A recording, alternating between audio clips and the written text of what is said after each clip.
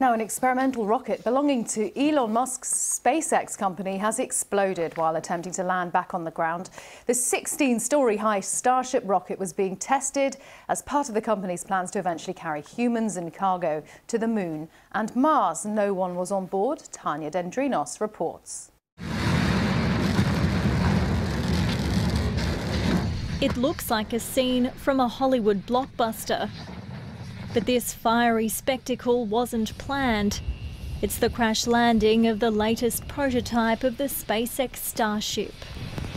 Two, one, zero. Codenamed SN8, it was the craft's first attempt of a high altitude flight test Early on, it was smooth sailing for the uncrewed mission.